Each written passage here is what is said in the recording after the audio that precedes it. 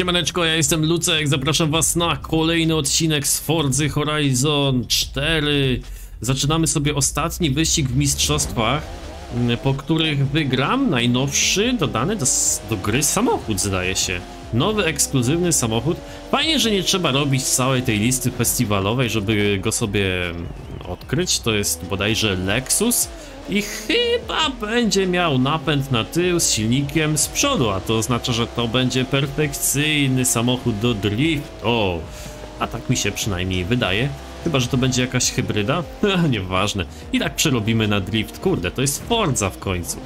No Ja wiem, że niektórzy tam już pisali, Lucek, czemu ty zawsze robisz samochody na drift? I wiecie co? Czasami najdzie mnie ochota na to, żeby pójść sobie na online i jedyne co zrobić, to po prostu się pościgać, nie? Jednak potem wybieram z listy mojej w garażu jakiś samochód. No, prawie wszystkie są na drift. Cholera! No jedynie te z silnikiem centralnie, czy tam z napędem naprzód, ale tak jest, takich jest mało. No to jedynie takie samochody mam powiedzmy pod, pod jakieś tam wyścigi, albo po prostu w ogóle nie, nie były nam, nawet przeze mnie ani razu użyte. I są w tym garażu, no nie? I, i tyle. I, a reszta to są driftowozy i, nie wiem, który mam wybrać, żeby kurde wyścig pojechać jakoś normalnie. No. Także tak. A mam kilka samochodów pod drag, niewiele, tam może z 20. I, I tyle, a tak reszta to drifting, no. Wszystko co ma silnik z przodu i napęd na tył, to... Nawet zresztą zrobiłem GTR-a przecież, R35 pod drift. no ale wyba... Oh shit!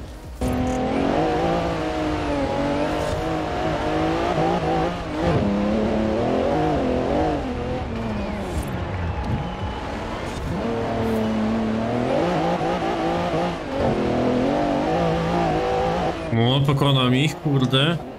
Tyle napędowca sobie wziąłem na offroad, pięknie. Właściwie to na szuterek, nie? Jakaś droga tu jest, nie jest to taki zupełny offroad. Ja tu muszę koronę zdobyć, łapie. Chcę być królem dróg, jak? Już nie do, nikt nam za darmo Lexusa nie da, o co chodzi? Ej, ciśnij, nie gadaj, chłopie. Musimy tego Adriana chociaż przeskoczyć. Chodź, Adrian. Adrian, kuźwa, zabieraj tą... ten kiosk. Dobra, dawaj tamtego. Julia, rozpędzaj się, kurde.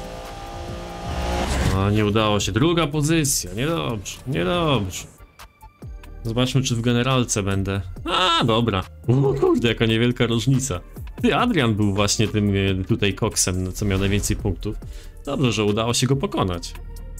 Proszę bardzo. High skill dra... Proszę bardzo, mamy nowe Lexiusiątko. To nic, nie wiem, czy to nie jest czasem hybryda. Zaraz zobaczymy. Patrzcie, w ogóle to jest jedyny Lexus w moim garażu.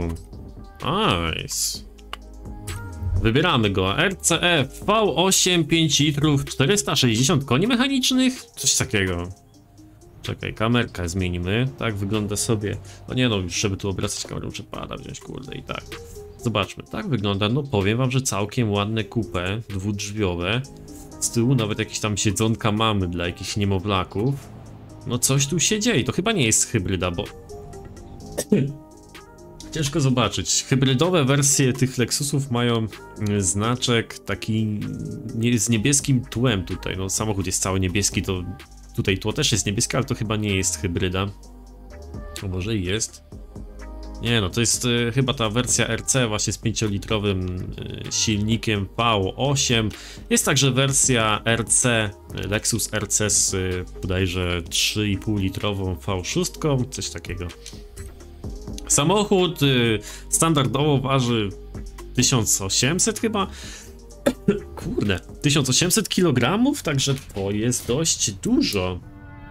Tak wygląda sobie środeczek. Mamy klasyczne zegary, rok 2015.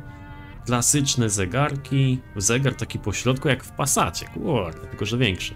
Jakiś tam wystający tablecik, to już chyba wiem, standard z tych czasów, nie? Prawie każdy samochód, BMW, Mercedes, wszystko, każdy samochód to ma chyba. Tutaj jak sobie weźmiemy jeszcze na kokpit, to mamy fajne informacje o przeciążeniach. Bezpośrednio. Takie małe kółeczko na dole, widzicie chyba, nie? Ładnie to brzmi, ale mamy 1800 kg wagi, co nie jest mało jak na samochód driftowy, moi drodzy. Kurde. Ej, co on się tak trzyma? No 1800 kg wagi, prawie 2 tony, to jest, to jest dużo, to jest kobyła. Ej, zobaczcie, mamy tutaj aktywny, wysuwany spoiler, to nie są żarty. Kurde. Jakie ciekawe kształty, jak się patrzy od, od tyłu, nie? Tak z boku jakby taka linia prowadzi do klamki. Nie wiem, czy to widzicie. No, w rzeczywistości to tak samochód, na samochód nie patrzymy, raczej patrzymy gdzieś z takiej perspektywy, tak z boku i ten przód mi się bardzo podoba, jest taki wypukły, ten grill jest duży, no jest ładny ten przód, bardzo mi się podoba ten Lexusik, i, ale tylko tak nie podoba mi się ten, ten jakby tylny zderzak, ten, ten, ten taki bok, co przechodzi w ten tylny zderzak, to takie miejsce, jedynie to. Tył i ogólnie cały wygląd tego samochodu jest spoko. Ja bym tylko może dach cofnął trochę do tyłu. Jakie wymagania chłop ma, nie? No tak, dobra, sprawdźmy prędkość maksymalną. Forza Horizon ma to do siebie, że samochody są w miarę odzwierciedlone, jeśli chodzi o osiągi. Tutaj mamy 8-stopniową, słuchajcie, 8-stopniową skrzynię automatyczną. Więc będę musiał się posiłkować tutaj łopatkami, żeby do tego ósmego biegu dobić, bo na mojej skrzyni, na moim hashifterze mam tylko 7 biegów. Teraz chyba, a jeszcze szóstkę wbiję. Co nam tam pokazuje? 257 260 Co powiem wam, że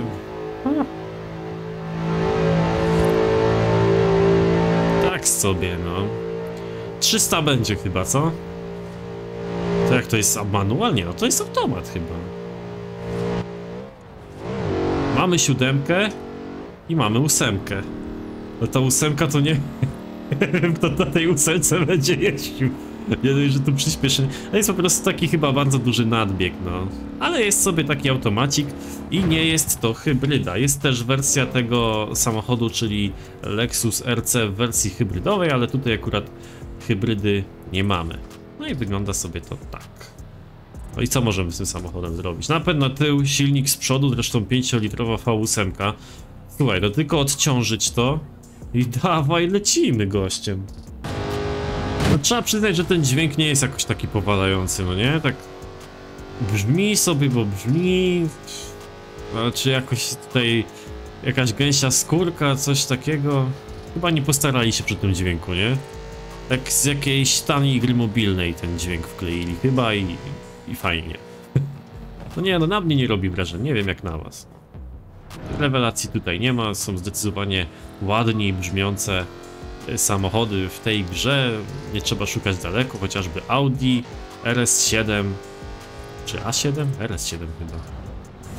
W każdym razie siódemka, no. Fajnie to brzmi. Naprawdę, a tutaj to takie no ale zrobimy, zrobimy, no. Spróbujemy z nim coś porobić. 460 koni mechanicznych, dobrze mówię? 467 koni mechanicznych mamy tutaj, no to tak... Mm, nie wiem ile z wagą uda nam się zejść. Raczej nie wystarczy nam tej mocy, żeby tutaj coś spektakularnego zrobić tym samochodem. Więc musimy tutaj znacznie zejść z wagą. Nawet chyba nie będę tej klatki dawał, niczego. Schodzimy z wagą, no i ciekawy jestem jak po założeniu zawieszenia driftowego samochód siądzie. No okej, okay, wygląda sobie tak. Ja bym powiedział, że wygląda jak jakiś taki sleper, nie? Tak, ten tył jest taki zbyt długi jak dla mnie. Ja bym go jeszcze trochę tak uciął z tyłu, tak.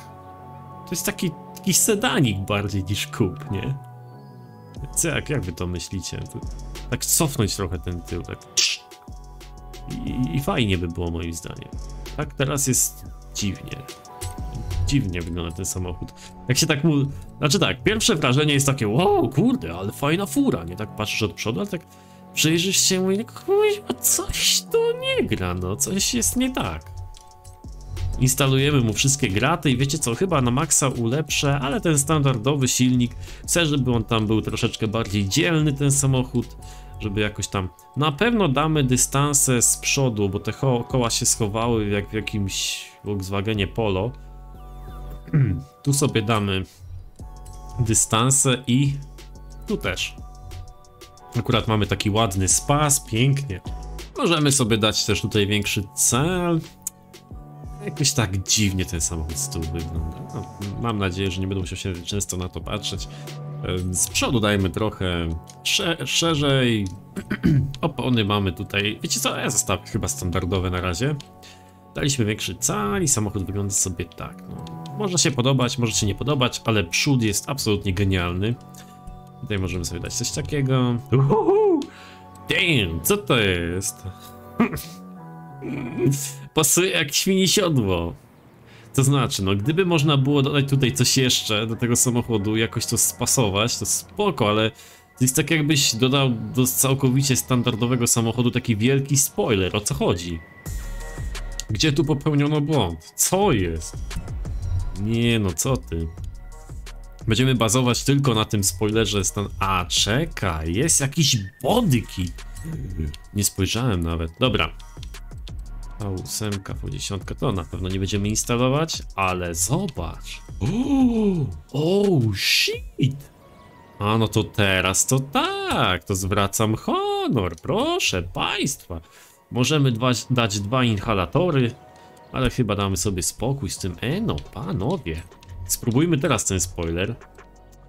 No i teraz to ma sens. No teraz to ma sens do tej rakiety.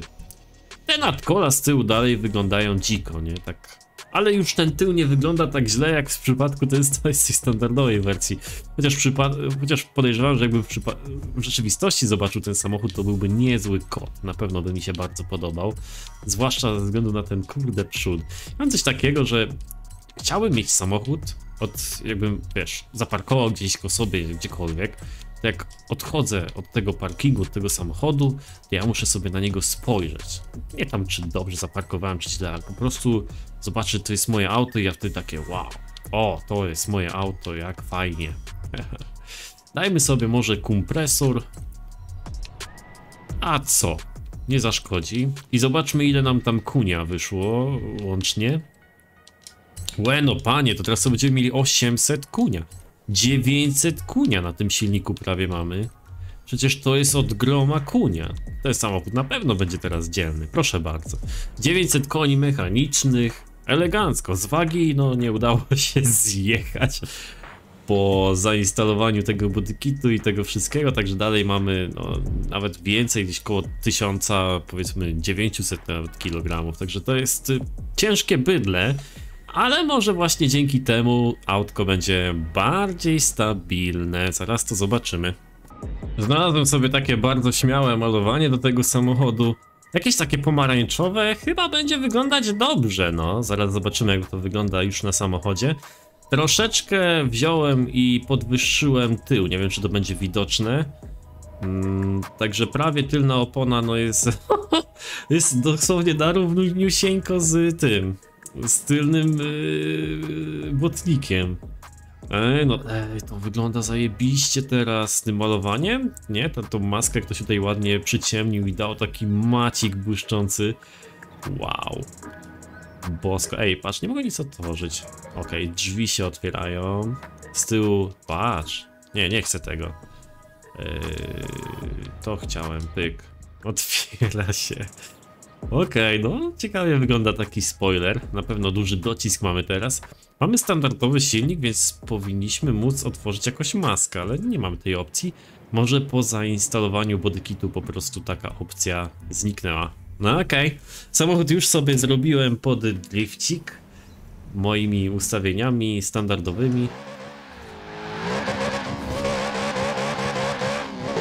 No i teraz ten spoiler pasuje, nie? Jakby do całości jak mamy poszerzenie jeszcze. Wtedy jak go zainstalowaliśmy, to ja myślę, kurde, co my na piknik jedziemy z tą ławką, czy jak? Teraz tak.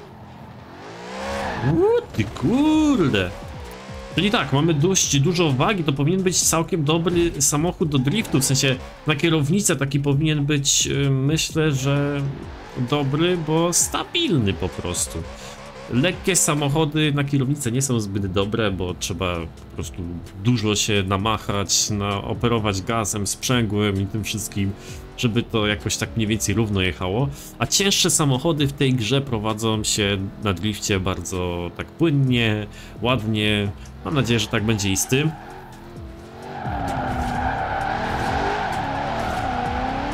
Na razie delikatnie z gazem, zobaczymy jak on będzie się słuchał albo nie będzie. Dobra, słucha się, więcej gazu.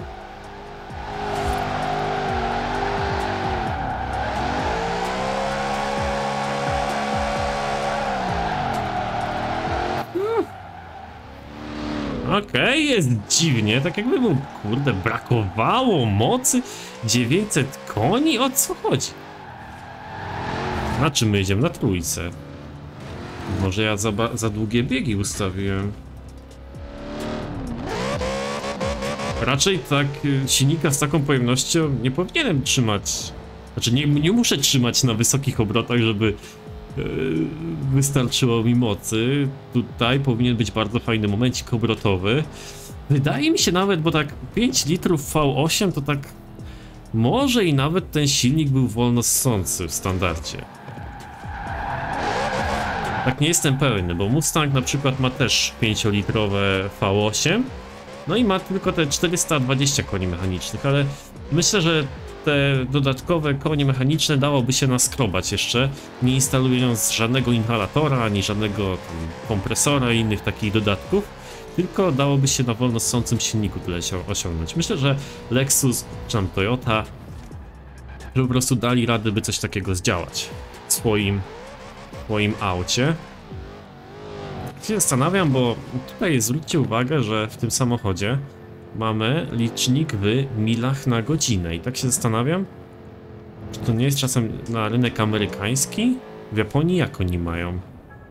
Nie no, w Japonii to by była kierownica po po prawej stronie, nie? Wiadomo, że w Japonii, tam w Chinach, tam gdzie tam to oni mają kierownicę po tej drugiej, ale Zastanawiam się, czy na przykład to nie był samochód robiony pod rynek właśnie USA. A do Europy trafiła tylko V6. Ciężko powiedzieć, nie? No dobra. W każdym razie lecimy.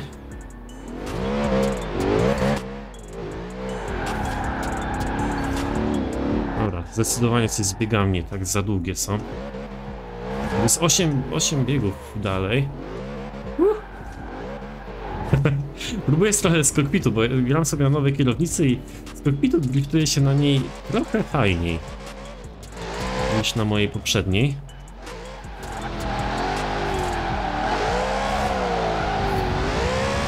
Uuu, za dużo gazu. Za dużo gazu przy transferze.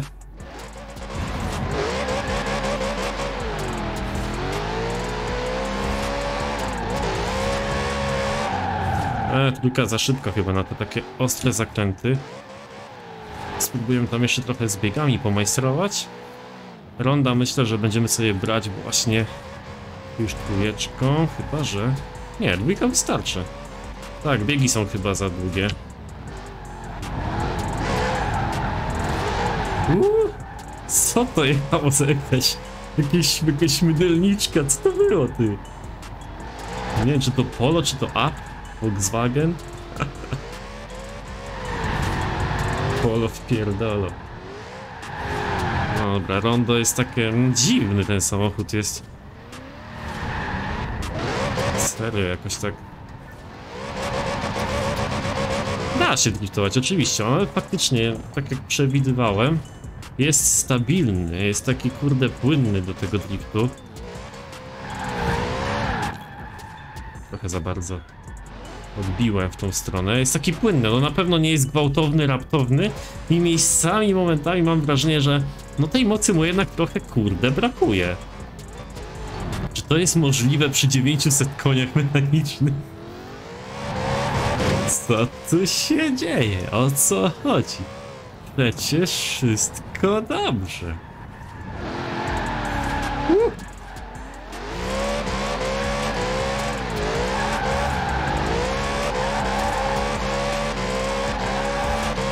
Dawaj tu w tą ciasnotę. I znowu to gówno mi tu wjechało. nie miałem jak pominąć tego dziadostwa. Dobra. To żeśmy zrobili. Zaraz pójdziemy jeszcze na serpentynki. Kurde, już jesień jest. Ja muszę 300 odcinków nagrać, żeby potem przez tydzień nie nagrywać w Fordzy ze względu na tą zasraną zimę. W ogóle ostatnio też już wyłączyli możliwość kupna Forza Horizon 3, nie wiem czy wiecie.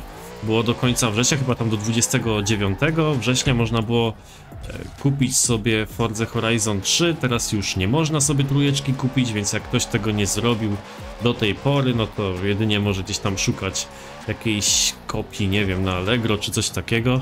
W każdym razie trójki już nie da się kupić, e, ani dodatków, jeśli ktoś sobie nie kupił. Forza Horizon 3 przez kilka miesięcy była w cenie tam 30 chyba 6 zł niecałych. Zwykłą, standardową wersję, za stówkę można było kupić e, taką wersję wypasioną już, czyli tam Ultimate ze wszystkimi dodatkami, więc kurde deal roku za grę, która kosztuje 500 zł normalnie, nie? A teraz jeszcze ciekawiej, bo w ogóle nie można jej kupić. Tak samo jak ja kiedyś przegapiłem Forza Horizon 2 i nie kupiłem sobie do dwójki dodatku. Dwójkę udało mi się kupić, ale dodatku nie ma żadnego i nie mogę go sobie przetestować w dwójce. W dwójkę można grać tylko na Xboxie, na PC, no niestety nie ma opcji. Jest taki konsolowy ekskluzyw. E no i lata ta fura, nie? Spróbujemy teraz z górki. Z górki zawsze trudniej jest. Pod górkę było spoko. Mega, mega stabilny samochód, bardzo mi się podoba. E, ja teraz troszeczkę gorzej driftuję, dlatego że mam nowy sprzęcik i trochę jeszcze nie jestem z nim zgrany. Więc tutaj to latanko nie jest takie e, może precyzyjne, ale samochód jest fantastyczny i tutaj można go trochę jeszcze podkręcić e, tuningowo jakoś tam, ale pod względem jakiegoś tam driftowania myślę, że jest w porządku. Tutaj te drifty skopałem totalnie, także bardzo was przepraszam. Kurde. Zawsze jak jest jakiś, jakaś kraksa czy coś, to zawsze Audi musi być w pobliżu, no. Wymuszenie pierwszeństwa, brak kierunkowskazu. To Audi.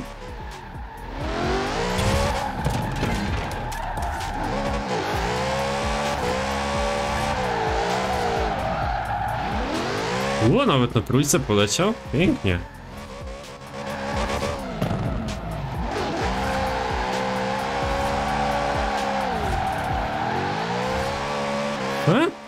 Gość, zobacz jak stabilnie.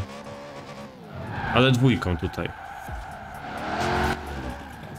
Spierdział się trochę. No, skopałem za długo na tym ręcznym. Mogłem wcześniej dodać gazu, trochę go już przejąć, niż tak jechać tym ślizgiem, jak jakiś, na jakichś sankach czy coś. Sami ma taką tendencję do prostowania się, ale wtedy wystarczy trochę więcej gazu dodać i już nie chce prostować raczej. Lata, lata, dobrze jest, podoba mi się.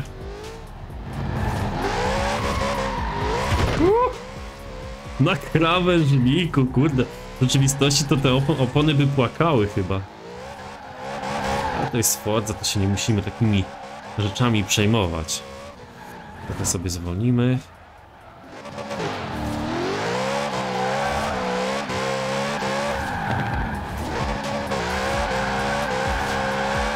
Wy w ogóle coś słyszycie? Tą kierownicę, jak ona tutaj obraca? Bo ja jej nie słyszę w ogóle. Aż takie dziwne, mam wrażenie, że coś się popsuło. To jest po prostu nowa kierownica. A tamta moja poprzednia to takie uuu, uuu, robiła. Tego też mikrofon nie łapał, bo to robiła dosyć cicho. Musiałbym mikrofon chyba bezpośrednio w kierownicę włożyć, żeby to było słychać. Nie było to denerwujące w Trustmasterze, aczkolwiek słyszałem, że G29 potrafi być głośna. Niektórzy ją określają jako pralka, a tutaj cichutko. Aż takie dziwne, nie? Przynajmniej dla mnie. Ej, no lata ta fura i mega, mega stabilna, kurde. Muszę Marquisowi powiedzieć, żeby ją spróbował sobie. Bo jest konkrecik. Uh.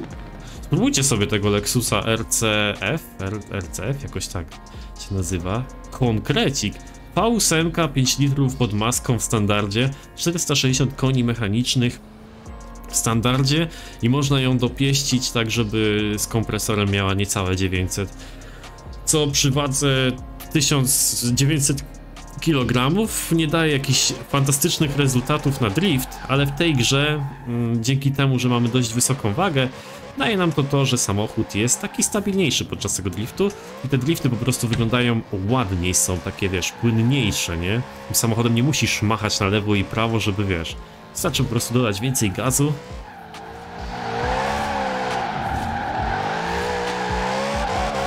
No jest tak, jest tak płynniej, można powiedzieć. Nawet tam trochę skopałem, ale... Wiecie o co mi chodzi, no wiecie o co mi chodzi, co ja kurde. To pierwszy odcinek, który oglądacie u mnie, jeśli tak, to zostawcie suba, ale to nie jest pierwszy odcinek, kiedy ja driftuję, no hello. To wiecie jak u mnie jest, no. Jak coś nie driftuje, to jest do dupy, kurde, o co chodzi?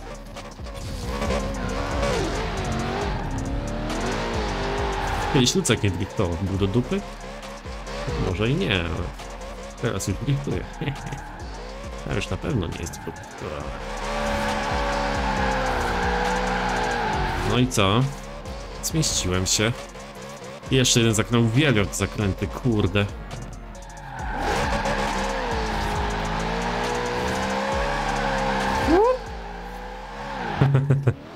No i lato, ty. To jest jeden z lepszych nowych samochodów do driftu, gościu. O co chodzi? I kurde, z tym, z tym pakietem poszerzającym to nawet jakoś wygląda. I ten tył nawet jakoś mi się zaczął nawet podobać. Nie jest tak źle. Ten spoiler jakoś tak uzupełnia tą całość. Jest całkiem przykładnie, nie? Zobacz jak to w ogóle siedzi z przodu. Nawet jakąś fotę sobie walniemy z nim. Wygląda to ładnie. Wygląda to ładnie. Kurde, nie to chciałem. Pyk, tutaj. A, mogłem laczka skręcić. No już trudno. Jak wam się podoba moje realistic photoshoots? Czekaj, tu trzeba aperture aperture quality good focus good proszę bardzo co, macie jakieś zastrzeżenia co do mojej fotografii skills? Nie mam żadnych. No nic moi drodzy, bardzo wam dziękuję, że byliście na tym odcineczku. Mam nadzieję, że podobał wam się teścik nowego samochodu w Fordzie Horizon 4, czyli Lexusa RCF. Zapraszam was na kolejny odcinek. Trzymajcie się ciepło. Hejas.